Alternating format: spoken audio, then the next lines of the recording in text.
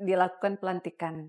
Ya, yang Pelantik anggota DPRD Ah, DPRD Provinsi Provinsi Sulawesi Sulut. Utara Ada hari ini. ah, ya, ada tiga orang yang eh, calon Ya, yang ya, mencalonkan diri di ya, pilkada. ya. Hmm. Ada dua tidak dilantik, mungkin memilih tidak dilantik, Ya. dan satu dilantik. Mungkin eh, ranahnya KPU seperti apa itu?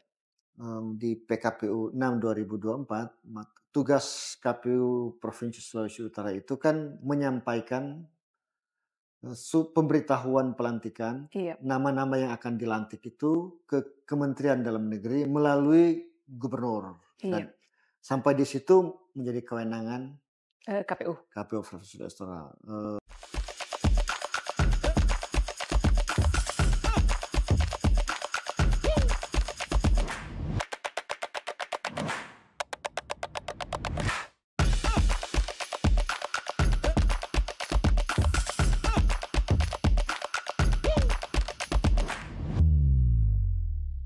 Hai M People, kembali lagi dengan saya Angel di MP Talks.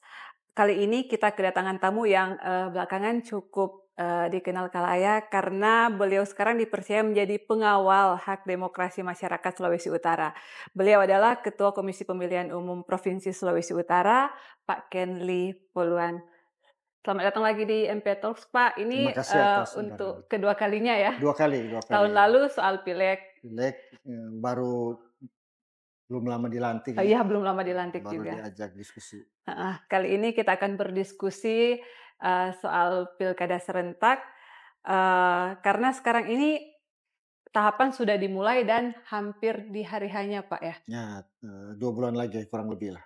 Tepatnya hari eh, tanggal berapa itu Pak? Kan 27 November. 27 November Sekarang sudah 2024. tanggal 9 ya, 9 September Se- September. sudah semakin dekat. Dua bulan kurang lah. ya. Bagaimana persiapan KPU sekarang ini Pak? Nah, eh, di KPU Provinsi Sulawesi Utara yang dimandatkan undang-undang untuk menyelenggarakan pemilihan gubernur dan wakil gubernur Mm-mm. Provinsi Sulawesi Utara dan mengkoordinasikan dan mensupervisi pemilihan bupati, wakil bupati, waki- wali kota, wakil wali kota di 15 kota kabupaten di Sulawesi Utara sedang melakukan bebe- beberapa tahapan ya, beberapa kegiatan program sekaligus.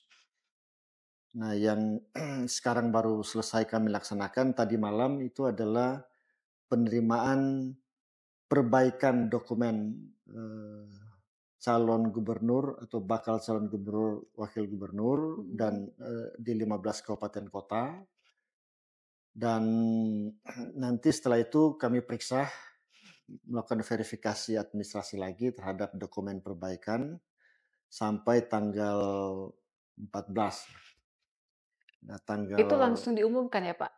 Ya, nanti tanggal 13 atau Mm-mm. 14 kami akan melakukan pengumuman hasil pemeriksaan terhadap dokumen perbaikan pasangan calon baik di Provinsi. provinsi Sulawesi Utara maupun di 15 kabupaten kota. Jadi eh, mungkin eh, lebih cepat lebih bagus tanggal 13. Setelah itu kami akan melakukan eh, informasi atau menerima masukan dari masyarakat. Eh, tanggal Sudah tidak ada perbaikan dari calon ya itu Pak? Tidak ada lagi karena Oh, perbaikannya hanya oke. sekali Perbaikannya sudah lewat yang sampai tanggal 8 sudah ya? lewat tadi malam ya. Oh. Tadi malam pukul 3.59. 23.59 dan eh, nanti pengumumannya 13-14 September. September diumumkan ke publik atau permintaan masukan masyarakat itu 15 sampai 18 Mm-mm. dan penetapannya tanggal 22 September. September. Itu sudah langsung penetapan calon. Ya untuk Serentak juga ya itu? ya itu semua serentak tanggal 22 untuk kegiatan pencalonan. Mm-mm. Selain itu kan kami sedang mempersiapkan eh, eh, kegiatan kampanye. Nah, kami sedang menunggu PKPU dan Juknis tentang Kampanye. kampanye. Dan kampanye itu akan terkait dengan eh, debat, dek- deklarasi damai, dimulai deklarasi damai tanggal 25 rencana. Mm-mm. Baru nanti akan ada eh, debat dan tentu kampanye yang sifatnya rapat umum dan penyebaran bahan kampanye dan uh, pemasangan alat peraga kampanye yang sebagian alat peraga kampanye itu akan difasilitasi oleh KPU. KPU dan bahan kampanye. Kami juga sedang menyelenggarakan pemutakhiran data pemilih. Sekarang ini sudah selesai dengan rekapitulasi eh, daftar pemilih sementara hasil perbaikan di tingkat desa kelurahan oleh teman-teman PPS dan akan masuk pada eh, rekapitulasi DPS hasil perbaikan di tingkat kecamatan dan selanjutnya akan dilakukan penetapan DPT di kabupaten kota. Dan, Kapan itu penetapan DPT? Nah itu nanti uh, tanggalnya yang pasti ada sesuai jadwal oh, iya. tentuan sampai rekap uh, provinsi dan itu sementara kami uh, proses apa, uh, pemutakhirannya. Ya. Nah yang ketiga kami su sudah melakukan uh, pengadaan logistik tahap satu ada tujuh item atau sembilan item lah. Tapi untuk sementara lima item logistik tahap satu yang sudah diadakan oleh panitia pengadaan eh, logistik di Provinsi Sulawesi Utara hmm. dan sekarang ini sudah mulai proses produksi dan dalam waktu yang cepat kami akan distribusikan ke gudang eh, kabupaten kota di 15 kabupaten kota di Provinsi Sulawesi Utara. Itu juga bergerak serentak sama serentak, kabupaten kota. Ya. Iya, karena kan beda nanti kan kertas suara logistik, logistik untuk pilgub dan logistik untuk pil. Ya, uh, yang yang berbeda nanti kan terkait dengan surat suara. Mm -mm. Itu nanti pengadaan logistik tahap 2. Oh, ini betul. Nah, untuk tahap satu itu lebih banyak diadakan oleh KPU provinsi karena terkait dengan bilik suara, oh, iya, kotak betul. suara, eh, tinta, segel. Nah mungkin itu uh, sebuah keuntungan kalau pilkada serentak ya Pak. Ya, uh, itu yang membedakan. Dan dari evaluasi pengadaan tahap satu ini yang mm -hmm. sudah diklik uh, melalui sistem pengadaan LKPP itu uh, nampaknya ada efisiensi lah. Oh, okay, dengan serentak nasional seperti itu. Iya, ini kan uh, pilkada yang sedikit berbeda ya Pak, karena dilakukan serentak. Ya, ya. Kalau untuk Sulut 15 ini pertama kota, kali lah ini dalam pertama sejarah kali. pilkada di Indonesia. Dan di Sulawesi Utara dilakukan sekalian 16 pilkada ya provinsi dan 15 kabupaten kota. Nah, uh, ada tantangan khusus enggak Pak? Atau enggak perbedaan lah? Uh, kan bukan kali ini juga Bapak ada di penyelenggara. Ya, Sebelumnya ya. kan juga di Bawaslu, ya, pernah ya. juga pilkada kan ya, Pak? Ya. Ada perbedaan yang muncul enggak atau ada tantangan khusus? Ya, uh, tantangan pertama tentu terkait keserentakan. Uh -uh. Karena penyelenggaraan secara serentak Lebih capek itu ya, Pak? Uh, membutuhkan satu energi yang mungkin lebih Ekstra, besar, uh. dukungan stakeholders yang lebih kuat, terutama terkait nanti keamanan. Betul betul. Yang kedua di pilkada serentak 2024 ini waktunya yang agak singkat. Ya, waktu pengadaannya, Benar. waktu kampanyenya, waktu persiapan-persiapan pembuatan badan ad hoc, terutama di uh, KPPS-nya. Nah, uh, saya kira itu yang yang yang saya kira umum ya. Uh-uh.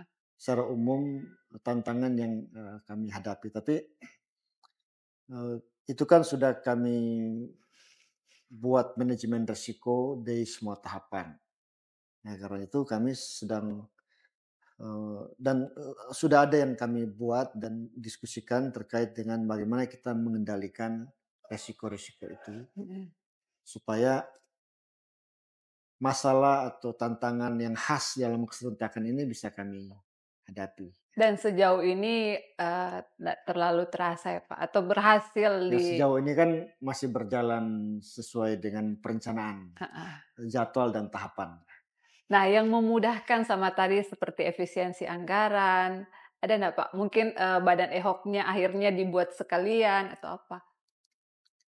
Uh, saya kira kan uh, plusnya lah, plus lah pilkada serentak. Membuat ini lebih mudah karena mungkin ya kita baru menyalakan pemilu serentak 2024 oh, yang lebih kompleks dari segi pesertanya, dari segi kebutuhan logistiknya, dari segi macam-macam lah. Mm -hmm. kelompok kepentingannya. Jadi jadi kalau kita baru menyelesaikan sesuatu yang lebih kompleks, kemudian menyelesaikan mungkin pilkada yang secara eh, Serentak tahapan, begini. secara teknis itu eh, lebih lebih apa lebih sederhana, Mm-mm. maka kita merasa bahwa eh, dan itu bisa berjalan lah dengan seperti yang kami lakukan sekarang. Mungkin nanti tan- tantangannya akan kita lihat di masa kampanye lah. Oh Ya, karena iya. Selalu saja dalam pilkada itu masalah yang berpotensi Tahapan agak yang sangat itu itu itu di tahapan oh kampanye. kampanye. Ya. Karena cukup panjang juga Pak ya. Kampanyenya justru lebih pendek Oh dari lebih pendek pilkada ya kalau ini. eh, yang lalu, yang terutama 2018 ya. Mm-mm. 2020 kan dia spesifik karena ada masalah COVID-19. Covid. Tapi yang yang 2017, 18 atau sebelumnya 2015 kan pilkada eh, kampanyenya lebih panjang. Ini kan eh, lebih, Lebih pendek. singkat. Tetapi yang saya maksudkan dengan masalah itu adalah eh, potensi-potensi yang sifatnya sosial politik ya. Karena Mm-mm. dalam pilkada itu kedekatan kepentingan antara pemilih atau masyarakat dengan calonnya itu sangat kuat ya. Iya betul. dan eh, persaingan di antara kelompok masyarakat atau para pendukung atau tim sukses di level desa kelurahan atau kecamatan itu mungkin akan lebih lebih berpotensi penuh ketegangan. Iya ya. mungkin Karena itu karena fanatik apa ya kalau ada pendukung yang terlalu Nah, fanatik ka- karena gitu. eh, gubernur, wali kota, bupati kan kepentingan langsung dengan hajat hidup Dengan masyarakat. masyarakat itu eh, dekat sekali Mm-mm. dan ada faktor-faktor sosiologisnya yang kuat. Ada pertemanan, keluarga, ada situasi desa yang eh, apa namanya terkait dengan hal-hal yang mungkin terjadi persaingan di di pemilihan-pemilihan pimpinan di desa dan elemen dan aktor di desa itu kan dekat sekali dengan Ke para calon, calon. para calon atau tim sukses. Jadi mungkin itu. Tapi kami tentu eh, berkoordinasi dengan kepolisian dan juga yang paling penting Bawaslu ya, yang lebih punya kewenangan otoritas untuk melakukan satu pencegahan bersama kepolisian dan tentu kami akan secara bersama-sama agar situasi-situasi yang eh, berpotensi menjadi satu situasi sosial Mm-mm. atau segregasi sosial itu bisa kita Minimalisir ya. minimalisir. Apalagi kan saya dapat laporan dari teman-teman Bawaslu, dapat informasi bahwa indeks kerawanan pilkada Sulawesi Utara itu kan dibandingkan dengan pemilu itu turun, Turun. signifikan dari Mm-mm. dulu pemilu peringkat dua Sekarang nasional sekarang belasan ya sekarang. peringkat kalau tidak salah 26. Oh 26. Dulu waktu saya masih di Bawaslu Masuk dari 10 besar. 9 provinsi yang pilkada Sulawesi Utara indeks kerawanannya nomor satu. Dari 9 tapi 9 provinsi. Iya. Sekarang dari 38 provinsi kita 26. posisinya 26 dan pemilu kemarin posisinya nomor 2. Oh iya benar. Jadi Belum saya kira ini dibahas. kerja Bawaslu dan eh, semua stakeholders tentu penyelenggara pemilu keamanan. Oh, Nah iya. itu best practice ini kan kita pertahankan dalam kita mengantisipasi kondisi-kondisi yang akan terjadi di masa kampanye dan tentu pungut hitung dan rekapitulasi. Tapi situasi sosialnya kan kadang-kadang atau sering kita lihat terjadi dalam masa kampanye. Oke. Pak Ketua, kan eh, selama ini dalam masa tahapan pasti sudah sering turun ke masyarakat. Ya, ya. Nah, bagaimana melihat masyarakat eh, memandang pilkada serentak ini? Antusiasme mereka seperti apa? Atau malah mungkin Hmm. em, malas-malasan atau gimana? So pernah turun kan? Ya, eh, eh, kalau kami kan selalu datang ke masyarakat, Mm-mm. berkunjung, berdiskusi, dan saya lihat antusiasme masyarakat itu cukup tinggi lah. Eh, tentu ada harus ada penelitian yang lebih detail lagi terkait dengan membandingkan eh, antusiasme masyarakat Sulawesi Utara di pilkada 2020 atau 2018 atau 2018. 2017 atau 2015 dibandingkan dengan Kalau pilkada sebelum-sebelumnya kan mungkin, eee, hanya 1, 2 daerah, tapi kan ini serentak Ya, ser eee, bersama-sama. ya tentu saja kalau dilihat dari keserentakan, Mhm. salah satu yang menonjol itu kan akan kelihatan semaraknya, ya. Minimal kalau kita lihat di masa pencalonan pendaftaran calon kemarin kan Mhm. ada kesemarakan di 3 hari, eee, pendaftaran pembukaan, eee, pendaftaran bakal calon. Mhm. Itu di s 15 kabupaten kota dan di kantor KPU Provinsi Sulawesi Utara terlihat karena dia Ramai. serentak dan apalagi para Bapasmin itu dan partai politik pengusung kan membawa atau mengajak Pendukung. pendukung anggota parpolnya atau simpatisannya. Karena itu dulu kan kami setelah selesai pendaftaran kami Minta maaf. meminta maaf terkait dengan mungkin lalu lintas yang macet Yang ada sekitar kantor. kantor-kantor perumahan-perumahan di kantor dekat kantor KPU itu agak terganggu. Karena kami udah lihat se- semaraknya masa pencalonan itu, pendaftaran calon. Nah, menurut DPS, eee, genset masih banyak ya, Pak, untuk pemilih?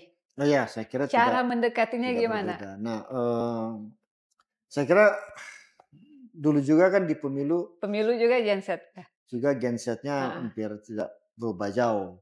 Tentu apa yang sudah kami lakukan di pemilu 2024 dalam keterbatasan pembiayaan Mhm. itu kami akan maksimalkan eh, di kegiatan-kegiatan, program-program eh, sosialisasi, eh, partisipasi masyarakat dan kegiatan lain yang terkait dengan genset dan tentu pemilih milenial yang jumlahnya signifikan. ya. Nah, berbagai program tentu sudah baik tatap, tatap muka langsung, datang ke kampus, ada Ghost to Campus, Ghost to School, Oh, betul. ada mau meminta bantuan teman-teman media, baik cetak, televisi, ada eh, kita menyelenggarakan satu event-event yang sifatnya hobi seperti beberapa waktu lalu kami menyelenggarakan sosialisasi dengan metode eh, apa namanya mengorganisir teman-teman yang hobi Vespa atau kami berdiskusi dengan teman-teman mahasiswa eh, bersama TFRI di mall karena Oh, iya, tempat berkumpul teman-teman genset kan di Iya. situ. Atau kami memanfaatkan eh, media sosial baik em, di media sosial KPU maupun mema- me- meminta bantuan teman-teman media kreatif untuk membuat konten-konten kreatif yang eh, diminati anak muda dan itu sudah kami jalan dan dalam dua bulan atau satu bulan eh, lebih ke depan kami tentu akan maksimalkan. Oke. Karena ini serentak, bagaimana KPU Sulut bisa eee, membina hubungan dengan KP KPU kabupaten kota? Ya eh, tentu karena tugas wewenang KPU provinsi kan juga eh, menyelenggarakan pemilu dan pilkada Mhm. tidak saja di provinsi tapi di kabupaten kota. kota. Menyelenggarakan dalam arti eh, apa namanya melakukan monitoring, supervisi, pengendalian, evaluasi dan eh, hal-hal yang sifatnya eh, bimbingan ya kepada teman-teman kabupaten kota terutama terkait dengan hal-hal yang sifatnya teknis ya dari semua tahapan. Itu kan selalu saja eh, KPU provinsi mengundang dan mengkoordinasikan eh, kegiatan-kegiatan yang terutama di tahapan teknis karena lembaga kita kan sifatnya memusat ke atas atau lembaga struktural. Jadi Mhm.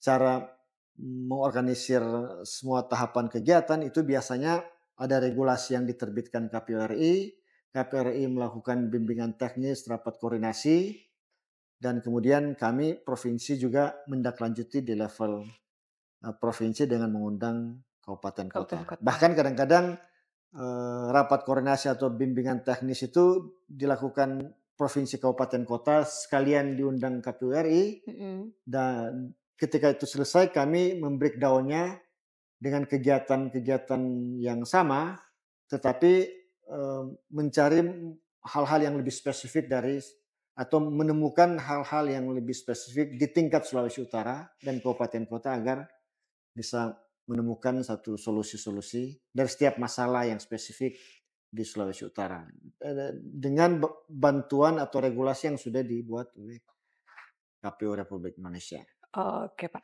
ini Pak tadi uh, pertanyaan kan baru-baru ini dilakukan pelantikan pelantik. Ya, yang anggota DPRD. Uh, DPRD Provinsi, Provinsi Sulut. Utara hari ada, ini. Uh, ya, ada tiga orang yang uh, calon yang ya, ya. mencalonkan diri di pilkada. Ya, ya. Hmm. Ada dua tidak dilantik, mungkin memilih tidak dilantik, ya. dan satu dilantik. Mungkin uh, ranahnya KPU seperti apa itu?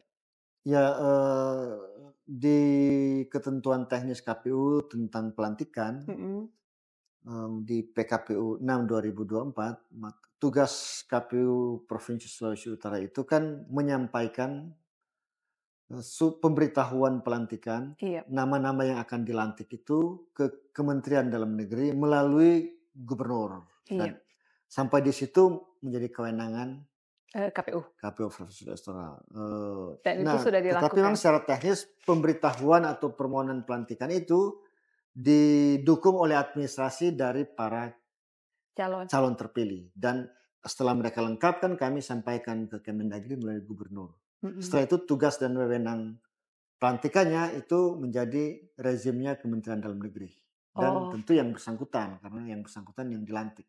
Mm-hmm. Mungkin... Di kami kan menyampaikan berdasarkan kan hasil pemilu 2024 24. pemilu anggota DPRD dan proses teknisnya dalam rekapitulasi dilakukan, menentukan uh, suara partai dan calon terpilih sudah hmm, kami sudah. lakukan, dan kemudian terakhir tugas kami adalah mengirimkan dan memberitahukan kepada tadi saya sudah sebut iya. Kementerian Pak, jadi kalau misalnya ada dua yang tidak dilantik kan, yang memilih untuk tidak dilantik mungkin, uh, berarti nanti mereka harus mengur eh harus ada ini PAW. calon kepala bakal calon iya. kan, kepala daerah. Berarti nanti dua ini harus diganti ya, PAW. tentu harus diganti oh, okay. berdasarkan uh, ketentuan penggantian uh, calon. Iya. Karena sekarang kan uh, karena dia sudah mulai dilantik berarti nanti akan menjadi mungkin rejimnya pergantian antar waktu. Oh iya PAW ya. Dan pergantian antar waktu itu Sesuai aturan juga suara terbanyak kedua setelah itu. Iya, nanti kita lihat lah. Apa karena dia tidak dilantik kan berarti dia harus digantikan lah oleh. Iya, berarti kalau dilantik. Oh iya betul karena tidak dilantik kan? Karena dia sudah ada SK soalnya. Oh. Jadi ada satu ini satu situasi yang ada SK dia tidak mau dilantik dan uh, artinya belum ada yang Iya, harusnya 45 tapi hanya ya. 43 tadi yang nanti. Menggunakan posisi anggota DPR itu yang dua orang itu. Ya prinsipnya harus di, dia pasti diganti lah. Pasti diganti. Dengan mekanisme seperti apa nanti kita lihat ketentuannya. Bisa mekanisme pergantian antar waktu yang diatur khusus dalam PKPU. Atau bisa juga usulan partai kan Pak? Uh, dia kan tetap harus melalui proses usulan partai. Oh iya betul. Nah kalau di PAW kan berarti usulan partai ke DPR, DPR-nya mm -hmm menyampaikan ke KPU melakukan pembahasan mm -hmm. dan dari proses pembahasan itu itu menyampaikan Menyurat ke KPU, ke KPU untuk kami lakukan tindak lanjut siapa surat terbanyak? melakukan proses administrasi oh, dengan iya. melihat tadi hasil pemilu 2024 24 dan pada hal tertentu kami melak, tentu harus melakukan klarifikasi terutama kepada calon yang tidak dilantik gitu. Uh, tidak dilantik bisa juga, tapi yang juga calon yang, yang eh, dila mau dilantik itu, karena calon yang mau dilantik kan harus juga memenuhi persyaratan-persyaratan. Oh, Oke, okay. terakhir nih Pak pertanyaan, harapan KPU di Pilkada serentak 2024? Ya, uh, uh, sangat sederhana sekali sebenarnya. Kami menginginkan agar Pilkada 2024 sebagai satu sejarah ya mm-hmm. keserentakan karena ini merupakan pilkada pertama dan mungkin tidak tahu lagi apakah adalah ada pilkada serentak, serentak. di tahun-tahun mendatang tapi mm-hmm. ini satu hal yang pertama karena itu kami sebenarnya menginginkan ini bisa berjalan dengan sesuai prosedur dan ketentuan bisa sukses. Mhm, amin. Tetapi terlepas dari semua itu, ya dengan mengevaluasi pilkada ke pilkada yang dilakukan sejak 2005, pilkada secara langsung, kami mengharapkan partisipasi pemilih itu lebih meningkat lagi secara terutama kualitas ya. Kami tentu berharap ada peningkatan kuantitas. Kalau dulu pilkada Sulawesi Utara itu partisipasi pemilihnya artinya yang hadir di TPS, TPS. itu itu sebesar kurang lebih do- 78 persen. Kami tentu berharap itu minimal sama atau Lebih. kalau lebih dari 78 atau 7 79 80 persen kan lebih bagus. Tetapi harapan terbesar kami sebenarnya Sulawesi Utara ini masyarakatnya bisa memilih secara rasional, memilih pasangan calon gubernur wakil gubernur, bupati wakil bupati, wali kota wakil wali kota dengan melihat visi misi program dan rekam jejak dari pasangan calon. Ya, Mana yang secara rasional dipandang oleh pemilih Sulawesi Utara benar-benar akan membuat Sulawesi Utara ini lebih sejahtera ya, dan tentu lebih maju lagi secara ekonomi dan sosial. Eh, terakhir, paling terakhir sekali Pak, Hmm. mengajak eh, masyarakat, ayo Ya. ke TPS, eh, lihat kamera Pak. Hmm, Oh ini ya, kamera yang mana? Yang ini. Mengajak ke TPS tanggal 27 ya, ya. November.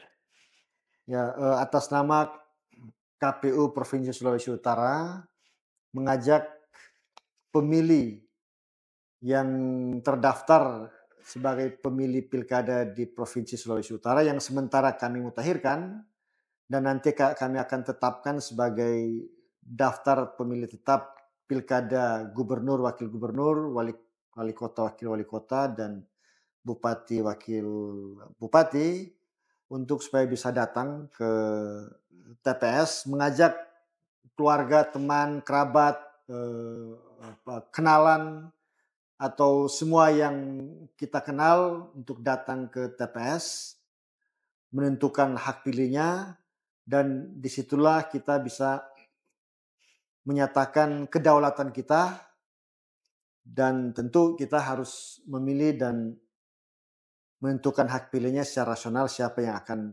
memimpin Sulawesi Utara dan 15 kabupaten kota di Sulawesi Utara. Oke, terima kasih banyak makasih. Pak Kenli. Em, terima kasih untuk eh, M People yang menyaksikan tayangan ini. Jangan lupa datang ke TPS tanggal 27 November 2024 dan pilihlah sesuai hati nurani, ya kan Pak? Ya, sesuai rasional ya, sesuai Rasional. rasionalitasnya. Oke, eh, sekian MP Talks hari ini. Eh, saya Angel dan Pak Kenli, kami pamit. Terima kasih.